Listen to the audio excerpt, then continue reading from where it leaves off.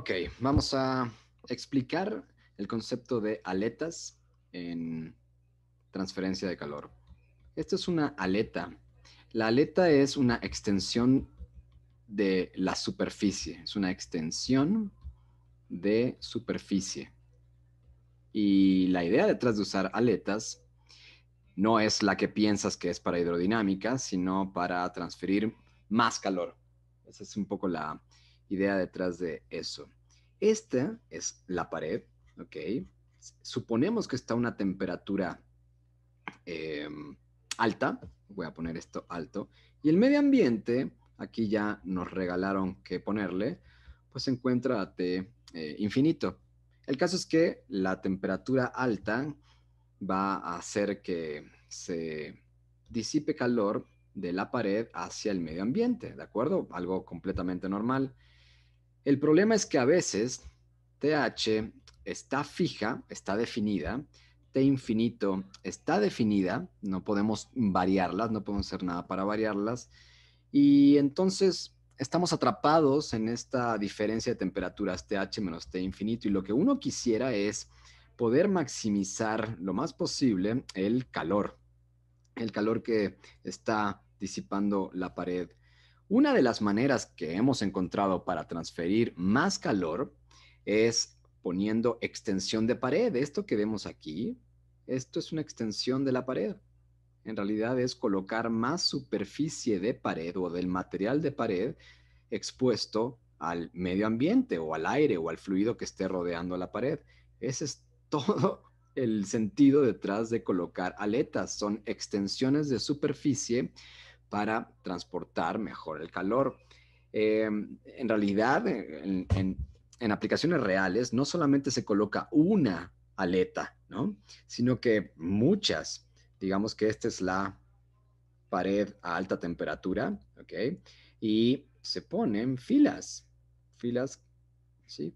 Y si tú las ves, puedes decir, ah, ok, eso parece un disipador de calor. Los disipadores de calor para electrónica son, tienen esta, tienen esta, esta configuración, ¿no? En realidad son materiales metálicos que están extendidos o que se colocan sobre esta, eh, sobre esta superficie que generalmente tiene electrónica y se pone a alta temperatura, ¿de acuerdo? Pero en realidad eso es lo que está ocurriendo. Es una extensión de la superficie para que se empape de más fluido frío, ¿de acuerdo? Esa es toda la idea de colocar aletas. Bueno, em, el, el problema de colocar aletas es que uno tiene que lidiar con dos procesos de transferencia de calor, conducción y convección. Entonces aquí se presenta convección y conducción.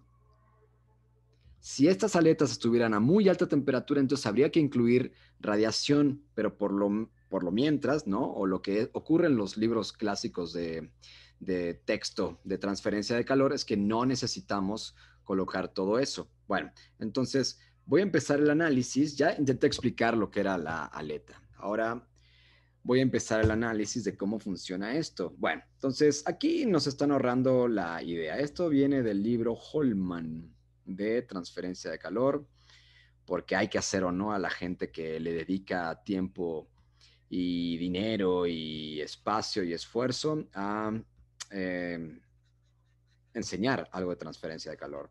Así que gracias, profesor Holman, por este dibujo y además el análisis que vamos a hacer. Bueno, este es un análisis clásico que viene, diría que en casi cualquier libro de transferencia de calor.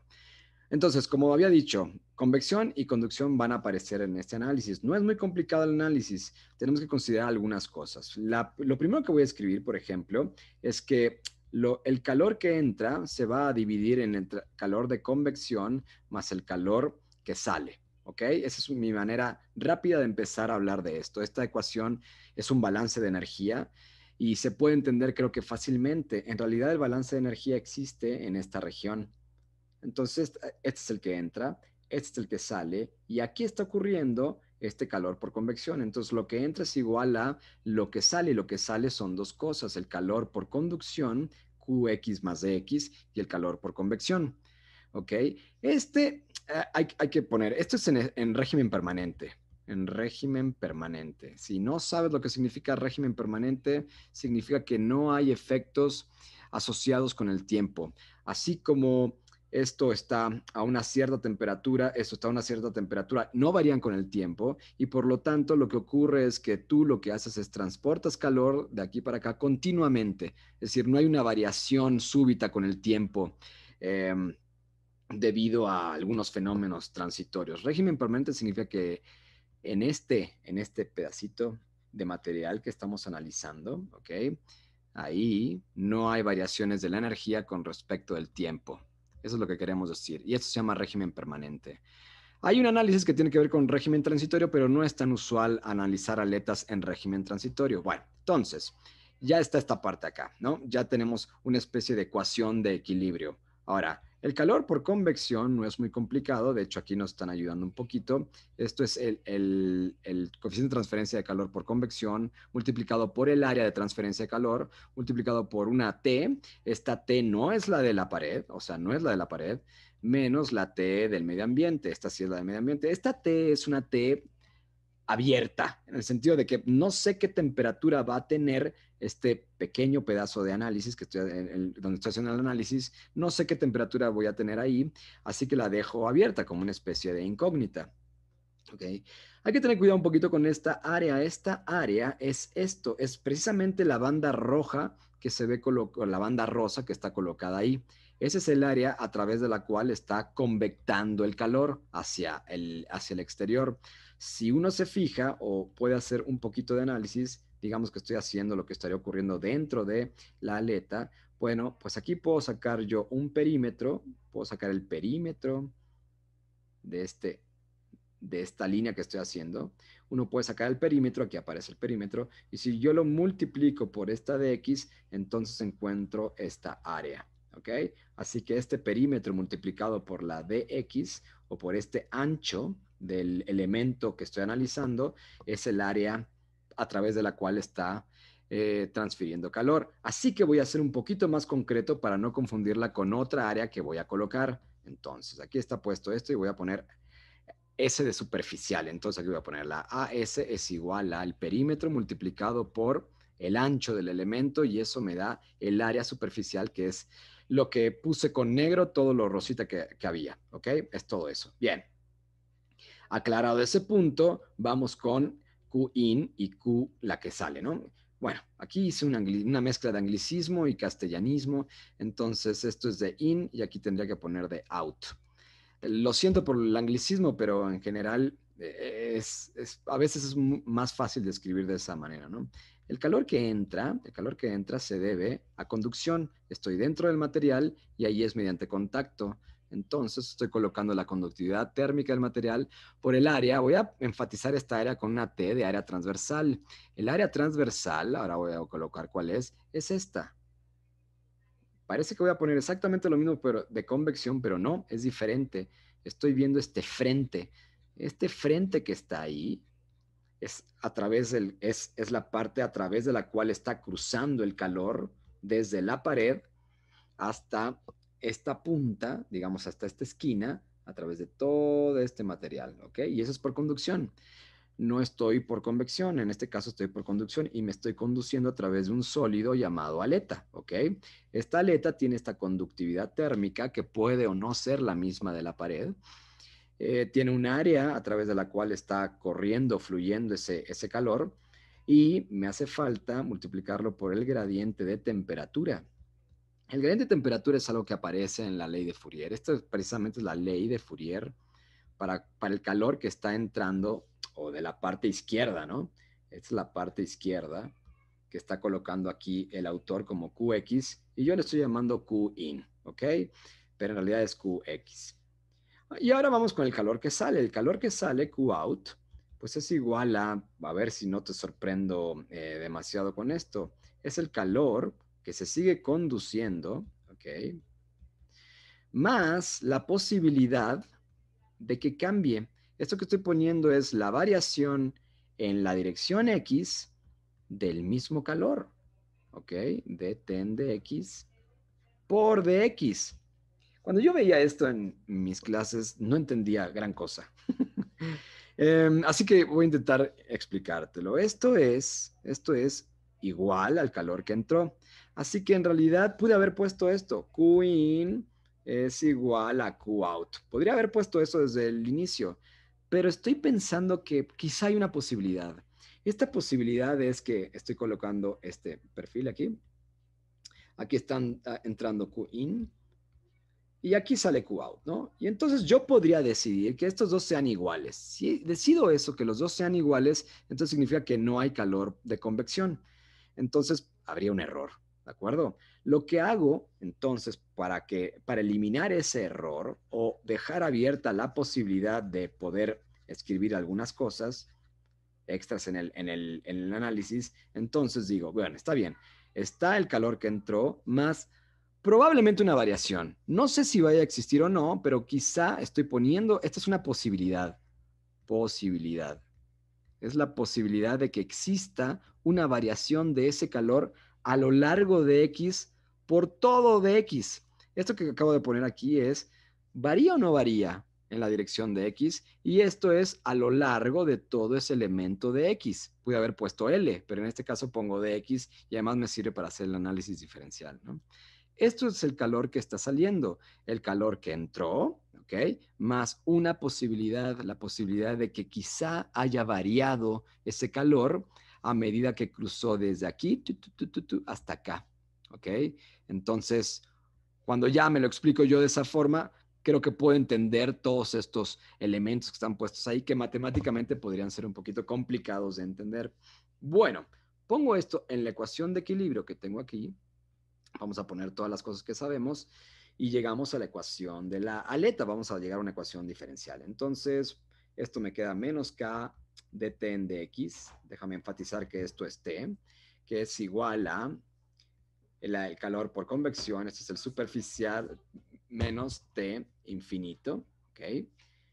Mm, más, ok, aquí puse un más, porque es el que sale, entonces más, pues menos K por A, estoy colocando ahora este término que acabo de poner en rojo, eh, K, el transversal de T en DX, ¿ok? Sigo con este paréntesis, más eh, el probable cambio, ¿no? Menos KET dt en dx y multiplicado por el ancho, por el ancho que es todo de x. Ok, y aquí creo que ya puedo cerrar porque ya acabo de establecer mi...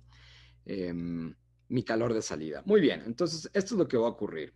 Em, ya sabemos algunas cosas y otras te las tengo que explicar ahora, pero por ejemplo, es fácil ver que estos dos términos se irán. Es lo que hubiéramos puesto cuando si hubiéramos dicho el calor que entra es igual al calor que sale y ya está. Ok, una parte de eso sí se fue, hay otra parte que está sobreviviendo todavía en esta ecuación. Esta ecuación todavía no es cero igual a cero. Ok, entonces me queda h que es igual a a, voy a quitar esto, no sé por qué lo volví a escribir. Esto es el perímetro por dx, ¿ok? Ya acabo de escribir la definición para esta área superficial, t menos t infinito. Bueno, este chico se fue, pero este todavía está aquí adentro, ¿de acuerdo? Y este que está aquí adentro tendría un signo negativo, entonces voy a poner el menos.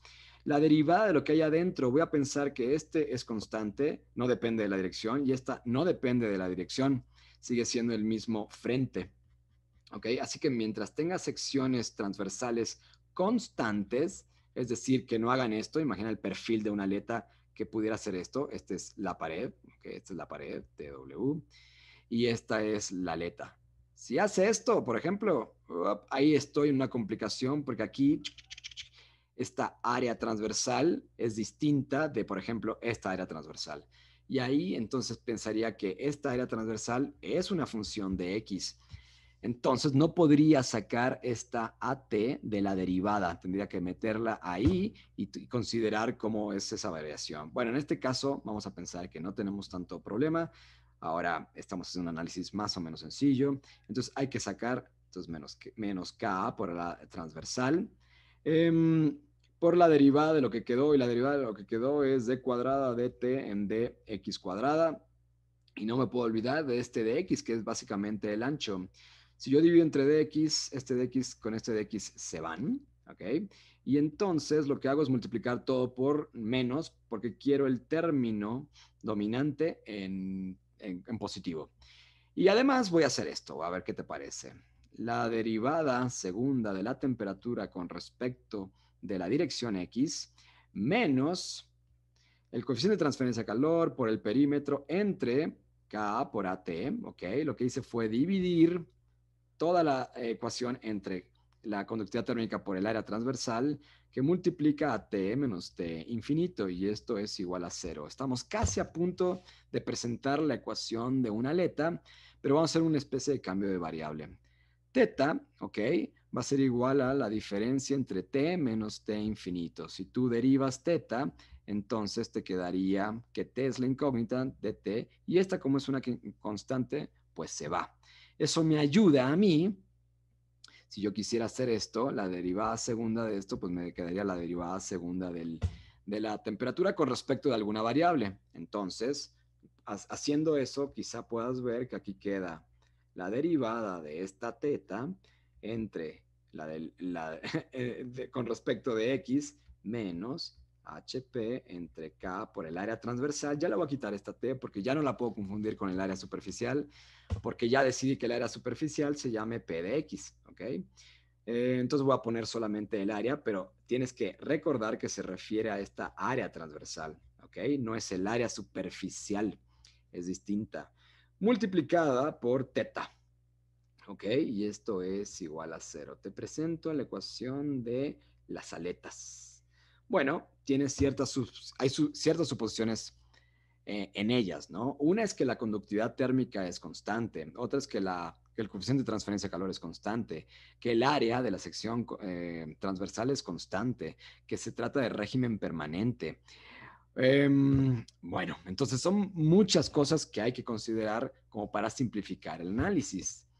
Bueno, e incluso así de simplificado, las ecuaciones que responden a esta ecuación diferencial son complicadas. Las expresiones de teta que responden a estas son, eh, yo diría que bastante complicadas e incluso se puede em, complicar el, álgebra. Hay tres casos para esto. Esos tres casos tienen que ver con las condiciones de frontera. Las condiciones de frontera son las que tenemos que utilizar para poder resolver numéricamente o para sacar de esto viene de ecuaciones diferenciales, ¿no? Pero para poder obtener las constantes cuando se integra esta ecuación, entonces las condiciones de frontera físicas más o menos reales de aletas, digo más o menos reales, porque todas las condiciones de frontera es una especie de idealización. No son realmente así, pero, pero se acercan mucho a lo que queremos describir. Entonces, la condición de frontera en este caso, pues tenemos voy a poner la condición de frontera A, que es lo que ocurre, por ejemplo, aquí voy a poner en la pared. Entonces, en la pared, en la pared, en la pared, yo voy a poner que ahí esto x es igual a 0, ¿de acuerdo? digamos que aquí, si lo puedes ver, mira, ni mandado a hacer esto. Em, aquí empiezas con tu x, así que en, en x igual a 0, la temperatura T, T solita, tiene que ser la temperatura de la pared. Es decir, esto tiene que ocurrir, la temperatura de la pared menos T infinito. Y a esto yo le voy a nombrar como T0. En realidad, no sé si lo ves, pero esto tendría que ser la máxima diferencia de temperaturas que va a haber. A medida que yo me voy moviendo hacia adentro del material, esa temperatura me voy alejando de la temperatura de la pared y me voy acercando a la temperatura probablemente de la, del medio ambiente. Entonces estoy pensando que esto se tiene que cumplir, ¿de acuerdo? La, la temperatura de la pared es algo fijo, la temperatura de infinito es algo fijo, así que este número eh, se conoce, esto no es una función, es algo que se puede conocer. Esto se llama la primera condición de frontera y es la que ocurre en este extremo. Falta otra condición de frontera, el número de condiciones de frontera que necesitas tiene que ver con el orden de esta ecuación diferencial. En este caso tengo una de segundo orden, derivada ordinaria de segundo orden. Así que tengo que poner otra condición de frontera. En esas condiciones de esa segunda condición de frontera hay tres posibilidades que se manejan típicamente en aletas. Entonces voy a ponerlas acá. Todas ocurren al final de la aleta, es decir, cuando x es igual a L, ¿de acuerdo? Entonces, Todas estas tres de las cuales voy a hablar es en x igual a L. Así que lo que se hace en los libros de texto es ver qué, ¿qué es lo que puede estar ocurriendo al final de esta aleta? ¿no? O, realísticamente hablando, ¿qué es lo que puede, qué circunstancias pueden estar existiendo al final de esta, de esta aleta? Entonces, la primera, todas son en este extremo, ¿de acuerdo? Eso no cambia. Entonces, la primera es pensar que esta L es muy larga, ¿ok? La L es muy grande. Por lo tanto, lo que se hace en los libros es pensar que tiende a infinito. Y si tiende a infinito, entonces eh, podemos pensar que en algún momento, justo en el extremo, la temperatura T, ¿ok? Va a ser igual a la temperatura del medio ambiente. Estoy pensando que la aleta es tan larga que la temperatura del ambiente y el material del cual está hecho la aleta, pues tienen la misma temperatura. Bueno, como que se estuvo empapando tanto, tanto a lo largo de X que ya tiene la temperatura. Por lo tanto, no sé si lo ves, pero en este caso, θ es igual a cero. Esta es la primera y más sencilla condición de frontera, es pensar que eso es lo que está ocurriendo que en x igual a L, ¿no? En, x igual a L, o a veces se pone que en x cuando tiende a infinito, pues se está cumpliendo esta condición de frontera, que teta sea igual a cero. Bueno, esa es una condición. Hay otras condiciones em, que voy a intentar describirte de esto o explicarte, ¿no? No me interesa tanto la parte matemática porque después en los libros ya está resuelto y son ecuaciones relativamente complicadas, en mi opinión. Bueno, em, o no es algo que estemos demasiado acostumbrados a, ver, ¿no? Pues, cosenos hiperbólicos o tangentes hiperbólicas, que tiene que ver con la solución de ecuaciones diferenciales. Bueno, la otra es pensar que em, en x igual a L, otra vez, todo esto es en x igual a L. La primera suposición fue que la letra era muy larga. La otra suposición es que es adiabática que en x igual a L, el cambio de la temperatura con respecto a la dirección es igual a cero, es decir, no varía. Si esto está ocurriendo, entonces puedes poner, por ejemplo, el flujo de calor es igual a menos K, eh, menos K por la derivada de T, bueno, vamos a dejar poner teta, T y teta es casi lo mismo, de X cuando ocurre en X igual a L. O sea, justo, justo, aquí viene, esta es tu aleta, Hace rato que dejamos la pared del lado izquierdo, pero aquí viene tu aleta. Y en este momento vas a pensar que está aislado térmicamente. Aquí está aislado térmicamente. También puedes decir que, ah, ok, es adiabático o adiabático. Si es adiabático, no hay transferencia de calor. Si no hay transferencia de calor, este chico tiene que ser cero. Y si es cero, K no es cero, lo único que puede ser cero es este término. Por eso no hay cambio de temperatura a lo largo de X en este punto llamado X igual a L. Es decir, la temperatura de este lado es igual a la temperatura de este lado. Eso implica que sea adiabática. Entonces hay, en realidad puede haber sistemas que utilizan aletas donde la aleta está colocada en cierto lugar, como soldada a otra pared, por ejemplo, y en la cual se puede considerar que esta soldadura que está aquí o este empaque o este material que se le ha colocado al final de la aleta en X igual a L es un muy buen aislante térmico y entonces tienes esa condición. Esta condición es la que está ocurriendo, la que podemos pensar aquí en dos, ¿ok? Esa es la condición. Y la condición en tres es convección. Es convección. Es una condición de frontera que se piensa que, bueno, pues está bien lo que está ocurriendo, el flujo de calor, el flujo de calor es igual a h por t menos t infinito. Es decir, esto está ocurriendo en x igual a L, ¿ok?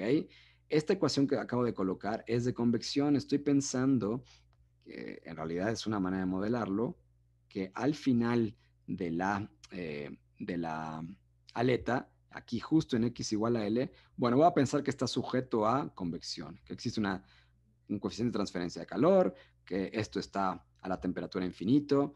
Esta es bastante lógica, por cierto. Pues, eh, estábamos pensando ya desde aquí que desde que sale de la pared, ya este material empieza a estar expuesto a un medio ambiente que se encuentra a T infinito y que existe un cierto coeficiente de transferencia de calor por convección. Entonces, no es difícil pensar que em, eso esté ocurriendo también al final de la aleta. Así que son posibilidades. ¿Ok? Em, bueno, vamos a las soluciones. A las, soluciones de, estos, de, este, de esta ecuación diferencial es la siguiente. Esta ecuación diferencial de manera general tiene esta solución. Entonces, teta es igual a C1 a la E menos MX, ¿ok? Más C2 de E a la MX. Ok. Voy a intentar explicar rápidamente qué es cada una de las cosas. C1 y C2 son las constantes de integración. Se obtienen a partir de aplicar las dos condiciones de frontera. Entonces, C1 y C2 se obtienen, se obtienen aplicando, aplicando condición de frontera A y condición de frontera B. Recuerda que hay tres casos posibles para condición de frontera B. Bueno, pero así es como se obtienen C1 y C2. M, no hemos hablado de esto, pero M cuadrada es igual a HP entre KA. Entonces, M es igual a HP entre K por A raíz de, bueno, no sé si lo recuerdas, pero es en realidad es este coeficiente que está afectando a la variable que no está siendo derivada. Bueno, y eso viene de esta m cuadrada, es una especie de argucia, porque aquí en vez de poner raíz cuadrada de HP entre K por A, bueno, eh, formas una nueva variable, ¿no? Formas una nueva variable llamada m, m cuadrada, y entonces esta es la manera de saberlo. Pero no importa, porque esto se conoce, esa parte se conoce. Y x es la... Eh, la variable independiente, ¿de acuerdo? Esto es cómo se mueve en X y así va a ser el comportamiento de la temperatura o de teta eh, a medida que te mueves en X. Entonces, estas C1 y C2 van a variar de acuerdo a las cosas que quieras colocar respecto de las condiciones de frontera. Por ejemplo, por ejemplo, para el caso 1, vamos a hacerlo un poquito más breve, para el caso 1, la ecuación general es teta entre teta 0, recuerda que esta es la máxima, que es igual a E menos mx. Esta ecuación se ve con mucha frecuencia en transferencia de calor para procesos transitorios. Esto no es un proceso transitorio. Aquí no está involucrado para nada el tiempo. Pero esta forma de esta ecuación, una exponencial negativa, ¿ok? Es decir, como que se va va menguando con el tiempo, aproximadamente, perdón, con el tiempo, va menguando con esta, con esta condición. A medida que crece X, por ejemplo, entonces va reduciéndose la temperatura, ¿ok? Bueno, también la puedes encontrar en, en fenómenos transitorios. Es decir, que puedes escribir que T menos T infinito, solamente estoy usando las definiciones de cada una de las cosas que vimos, es igual a E menos MX. Esta es bastante sencilla de encontrar. Esta sí se puede encontrar sencillamente para el caso 1. El caso 1 es A y B con el primer inciso, ¿ok?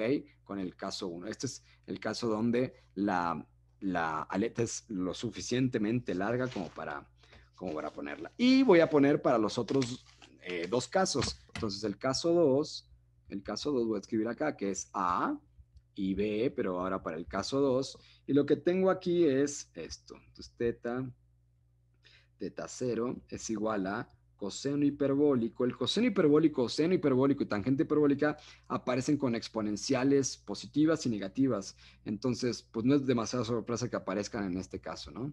Aquí es lo que estoy colocando, son las funciones que expresan esta relación de temperaturas, ¿no? en realidad sigue siendo una función de x, lo que estaba en el denominador, no sé si lo ves, pero es un número, porque se sabe m y l, y lo que está en la parte de arriba es una función que depende de x, y de eso nos dará cómo varía la temperatura a lo largo de x. Y por último, el caso 3, el caso 3 es si tuvieras convección, entonces condición de frontera A, condición de frontera B, pero el caso 3. Y en este caso tenemos algo horripilante. Entonces, teta, teta 0 es igual a, ok, lo voy a poner acá para que quede, para que sepas cuánto es, coseno hiperbólico de m que multiplica la resta de L menos X, más, en este caso aparece el coeficiente de transferencia de calor que ocurre al final de la aleta, multiplicando al seno hiperbólico, hay que tener cuidado de cuando la H pertenece al seno y cuando la H pertenece al coeficiente de transferencia de calor por convección por M, L menos X. En este caso no hay ningún seno trigonométrico, son todos senos hiperbólicos, ¿ok? Y lo mismo con los cosenos y, etcétera. Coseno hiperbólico de M por L más, otra vez, este coeficiente que es el coeficiente de transferencia de calor entre M por K, que multiplica el seno hiperbólico de M por L. Ok, entonces, imagina que tienes un problema, por ejemplo, en el caso 3, te dan valores para L, te dan valores para H, etc. Y aún así es bastante complicado hacer, hacer este tipo de problemas, ¿no? Eh, analíticamente, eh, operar es, es, complicado. Entonces, lo que se suele hacer es utilizar estas, estas em, estas soluciones numéricas. Estas soluciones numéricas ya vienen graficadas en casi cualquier libro de transferencia de calor. Y acá es una especie de, todavía no, no, no me interesa explicarlo ahora, lo único que me interesa es explicarte el procedimiento de las aletas, pero una vez que ya sabes de dónde viene esta información, pues más bien utilizas esta información gráfica. Aunque aunque sea más difícil de leer, porque por ejemplo te sitúas, no sé, aquí, después subes y entonces pegas aquí y entonces te mueves horizontalmente para encontrar la eficiencia. ¿Qué es la eficiencia? Bueno, eso será parte de otro, de otro video. El caso es que esta es la manera más rápida de resolver problemas de aletas aún más complicados, ¿no? Aquí tienes, por ejemplo, esta variación del, espesor de la aleta, la longitud. Entonces, todas estas variables que aquí arriba te costarían bastante tiempo modificar, en este caso no es tan complicado porque las han condensado hasta cierto punto en una sola variable con fea, ¿no? Es una variable horrible, pero en una sola puedes saber mucha información, ¿ok? Eso es parte como de un análisis dimensional. Bien. Hasta aquí.